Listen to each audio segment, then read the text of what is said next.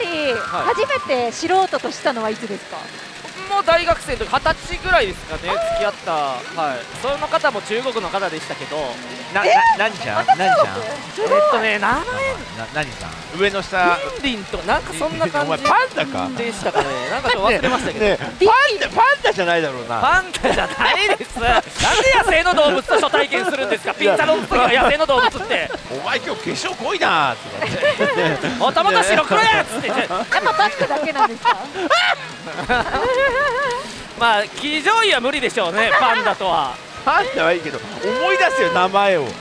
ええー、忘れたの？ー、リンリンとかやったかな。えそれはどこで出会ったんですかあ大学で出会いました。大学生だったんですか？大学生です。はい。で？でってないいやいやちゃんと出会いよ。で大学でやったんですけどその話したのはなんていうんですかねクラブというかクラクラブってまあそんな洒落たもんじゃないんですよ、まあ、ちょっとうん。音楽かかっててお酒飲んでお酒飲んでみたいなところであ同じ大学だねみたいな。いやよく行ったねそんなの陰キャが。ね。よくよくそんなとこ行けたね。いやお酒の力ですね。でまあ真面目な話するとその中国人と付き合わないと中国語うまくならないよっていうのも言われてたんで。うん。確かに。はい。それで頑張ってこう喋って。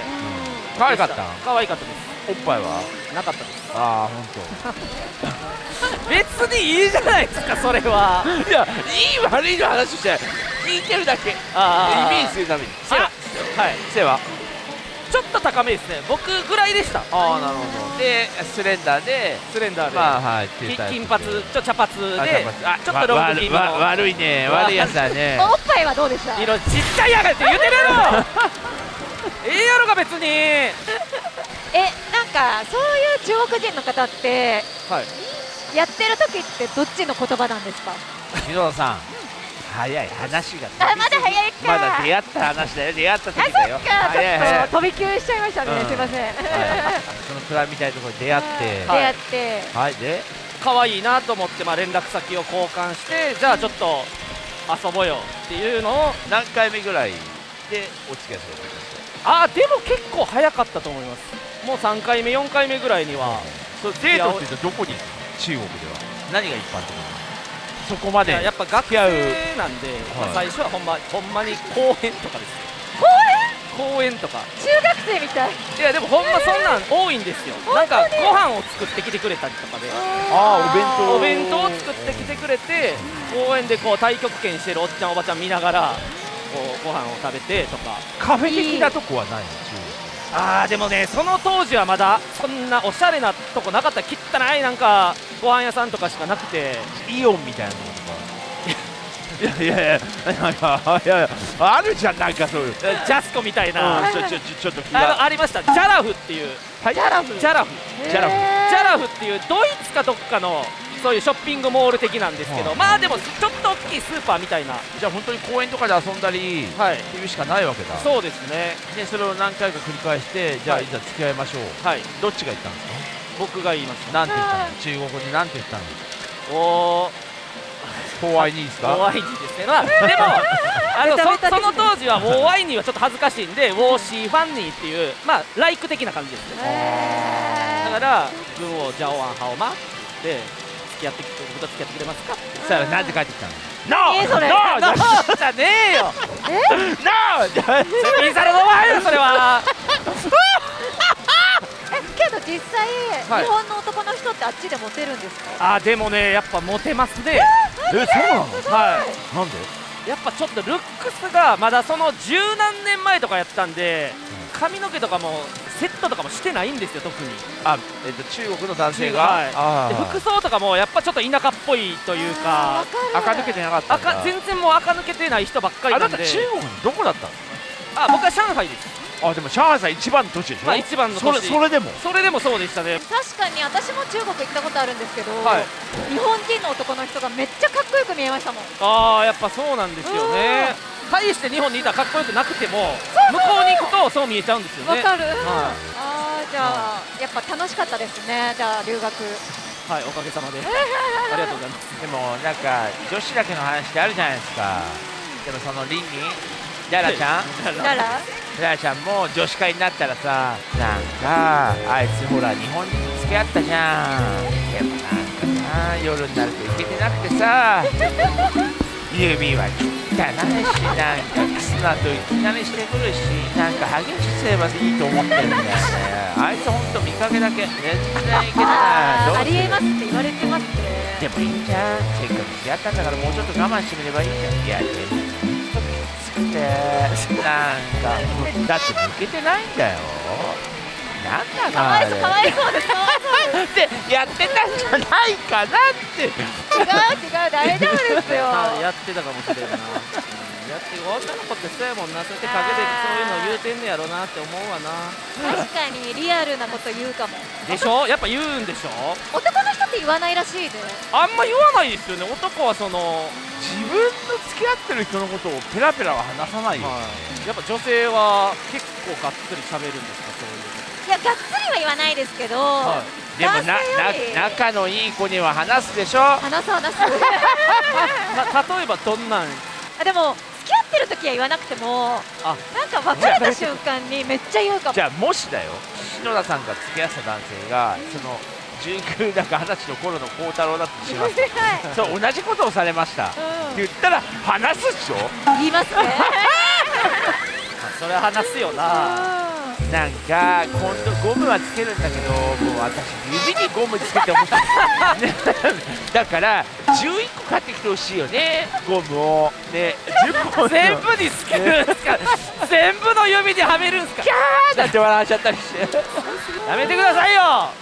いやよくそんなケラケラ話してられますね。当たってもないのに。俺考えられませんよ孝太郎さん篠ラ田さんはビギナーだからまだいいですよ。あなたよくそんなこの当たってない一度も当たっていない状況でそんな昔話ができますね俺考えられないですあなたが聞いてきたんねでしょあなたよあなた出玉担当で呼ばれてるのに。ね本当に。いやそれはそうですねそれはそれは責任感の欠如だと思いますけど。いやいやいやいやいやね当てます当てます本当てますちょっと集中します集中しますあの疲れたら全然休んでいいからねはいちょっとお客さんにもらったチョコレートいただあーいいですいいです全然いいですよいいですね食べますかあいいんですかあ汚いよ指。汚いです。見てください。今日は綺麗です。どうぞ。魚拓さんはどういう人がタイプなんですか？これ全然タイプとかないんだよねえー、ないの？嘘だ。ただ自立してる人がいる。精神的に。あなんかそれはメンヘラと使ってたんですか？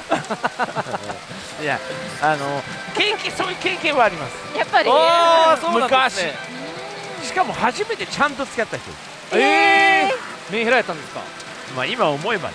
あなななんかそう遊んでたんですよ。そのいろんないろんなこと遊んででもちゃんとお付き合いした人はその人が初めてだった。はだからこういうもんなんだって思ったんですよ。女性って付き合ったら。あーなるほど。初めてちゃんとお付き合いしたのがその人だったから、うん。それが普通やと、まあこういうもんなんだって。結構俺すごい愚痴を聞かされるんですよ。そういう悩みとか。ねはいはいはい。おいすごい話される。女性っているじゃないですかたまにネガティブな感じので俺はそれがあ女性ってこういうとこういうもんなんだ。女性と付き合ってこういうの聞くのが仕事なんだみたいな感じだったんですよ。そういうのが続いててで俺当時サーフィンをやってて。でかっけーで俺まあ基本一人で行ってたんだけど、はなんかなんか一緒に行きたいって言うんでで全然会ってなかったからまあいいよっつってはい。連れてったんですよ、でなんか海辺にいる時になんかで表紙笑ったの。俺が。はい。うわ俺お前といて久しぶりに笑ったわ。って自分で言ったの、それおう。その言葉がふって感じ。てこいつと一緒に久しぶりに笑ったってなんだ？俺ずっと笑ってなかったのか。やっぱこれおかしくね？って気づいてはいはいはい。別れました、え ええでも簡単に別れてくれましたか？ー、ああでもねパキあのが頑張 頑張って頑張った。はい、ちゃんとはい。ちなみに篠田さんは、はい。お付き合いした男性と別れる時はい。は大体自分から言う方です。か相手に言われる。方ですかあでも自分から言うことの方が多かったですね。ああなるほど。じじゃあ自分から別れましょうって言ったらうん基本男性はどうなることが多いですか？いやなんか粘る人もいるけど 粘る人粘るまあまあどう粘んの？ね粘るね徳田原で足がかかっててどうどう粘るの？いやなんかまだ別れたくないみたいな感じですけど。けどむちゃくちゃ粘ってんね。そういうやっぱ男の人だからね粘着してくる人はいないですよ。あまあおおおおおおあなんかこれはこれおそらくやり落ちてきます。一回手離していい、はいこれが落ちてきたらチャンス。ですえー、落ちて。落ちました。落ちたさあ嬉しい。まあ初めてのチャンスと言ってもいいでしょう。さあこここの展この後の展開にさあ注目してください。おー頼む。これセリフ次第なんだよね。あそうなんだ。いやいやこれは誰ですか？あ赤い。赤いね。そのセリフ自体はそんな強くないけど赤いんで。赤い。はい。でこの後じゃあ特に何も出ないけどさあ出ないまま8点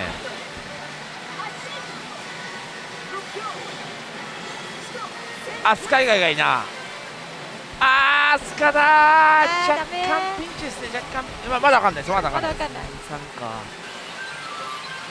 頑張れ。さあここで決めたかったけどここは銀。カットイン銀で。えー、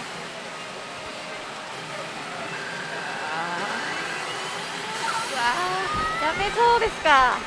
えー、難しい。残念。あーダメ。か甘くないね。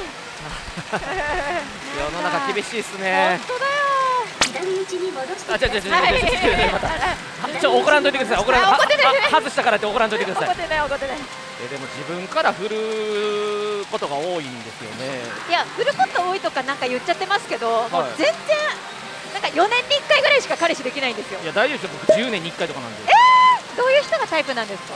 いや本当に僕魚拓さんと同じでその好きになる人は全然変わりますね。またまた。なんか顔とか絶対あるじゃないですか。なんか好きな芸能人とかいないんですか？いや芸能人いやこれもうベタですよ。うん。新垣結衣さんとかめっちゃ可愛いああもちろん。あじゃあ可愛い好きなパチスロライターさんあはー近いこと近いとこ来ますね。うん可愛いなと思うライター顔立ちだけあ顔だけ。顔だけ。あー顔で言ったら恥ずかしいな。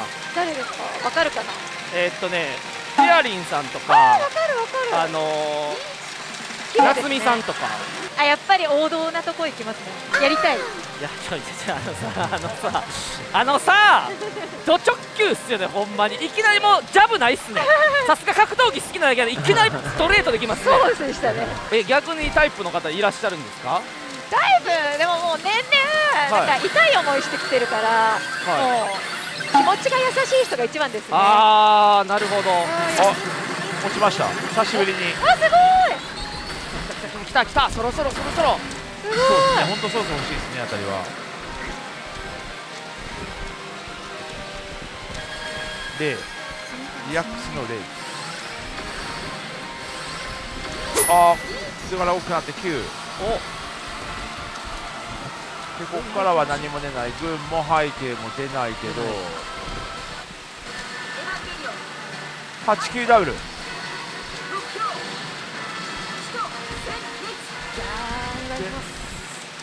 うわースカかいやだから手前で決めちゃえばいい8で。うわー8いっとこは銀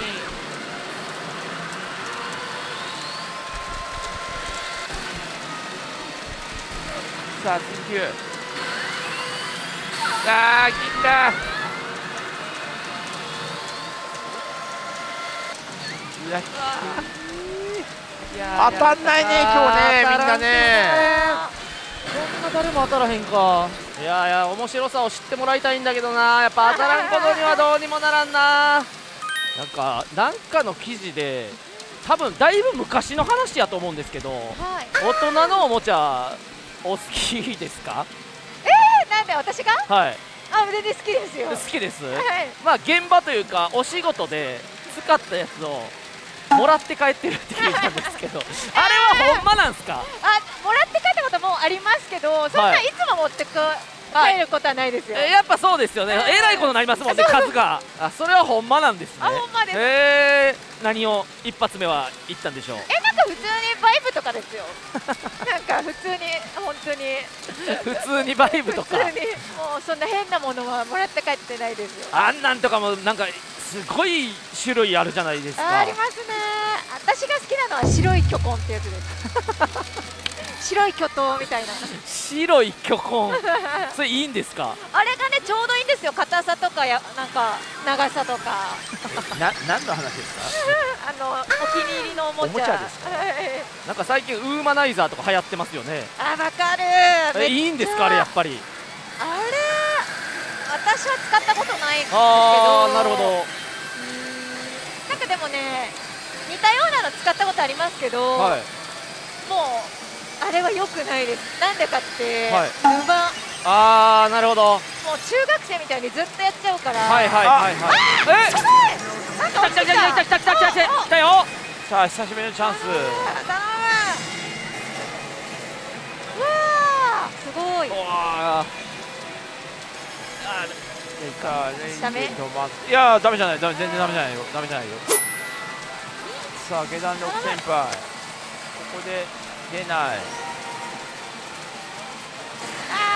いやいいですよいいですいいです。いいです。わ悪くない悪くない悪くないよ悪くないよ。悪くない。全然悪くない。お願いします。はい初号機。あ動くよ。ええあーすごい。おい。い。やこれはあるよこれはある。あるうん全然ある全然ある全然ある。かお願いしますでこの後のカットイン銀じゃなくて金だと直井金だと直井いや銀でもあるあるある。全然銀でもあるあるある。な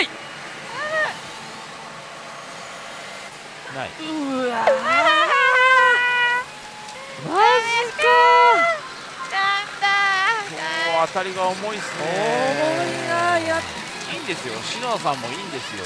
俺もいいんですよ。その当たらないのは。ただあの人何のために呼ばれてんだろうなーっていう。ああれじゃないですか。あの今日は中国人の話をするために。中国人とのお話をするために呼ばれた人なんですね。あーなるほど。あーなるほど。やばいやばいやばい。やばいとんだギャラ泥棒や。いやー全然ダメだな。ダメだこねんなにね当たらないっすかっていうぐらいっすね。あーなんでだろう。うんお菓子食べた方がいいっす。お菓子食べましょう。ね甘いもん甘いもん食べましょう。そうですね食べます？いいんですか？ありがとうございます。あのはい。お菓子の前に回転待ち行きますよ。ラーメン。ラーメン。あ回転あラーメン回転待ちするんですね。スパイダー騎乗位って何ですか？してもらったことがあるええー、当たらんかったらセクシーショット撮らせてもらっていいですか？いいらしいです。いいんだよ。あー！うわーこれはエロいこれはエロいぞちょっとちょっと待ってくださいね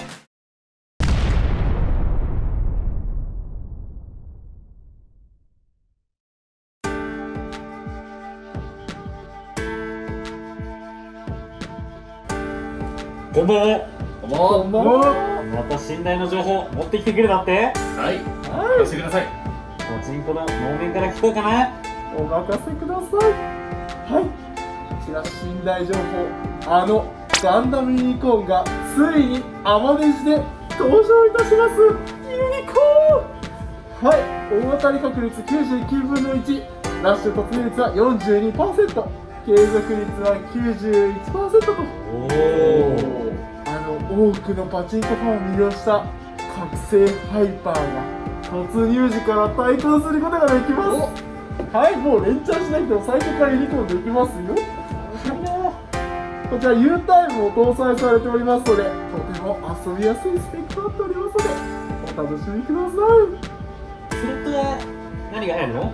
はい、水拳ここからはお面会のキリトである私ひょっとこが SAO の紹介をしていこうと思います。おお、あの SAO かスマスロになって登場。えー小説やアニメ映画コミックなどのメディアミックスを展開しているソードアートオンラインがついにパツロ化でございます。原作ファンには必見。演出がたくさん用意されており人気のエピソードから本気書き下ろしのエピソードまでたくさんの演出を楽しめます。大当たりフローは通常時のチャンスゾーンクリアでボーナスを獲得、えーボーナスは SAO ボーナスとエピソードボーナスの2種類で消化後にボスバトルに発展します。ボスバトルでは正規目で、えー特殊デメがありましてそちらと、えーレア役でボスにダメージを与えることができます。でボスバトル勝利で報酬を獲得できます。はい。そしてですねなんとボスバトル7戦目到達でリスクリルバトルに発展します。茅場さんね。はい、茅場さんです。勝利すればなんと純増4枚の上位 AT アルブヘイムオンラインに昇格。アルブヘイムオンラインは15ゲームプラスアルファの継続でこの間はボーナスの超高確率区間でもあります。約4.2分の1で当選するボーナスのループでさらなる出玉を獲得だす。ごいですね楽しみだね。はいコンコルドグループはですねパチンコパチスロ最新台続々と入荷しますので。絶対行ってくれよな。スターバーストストリーム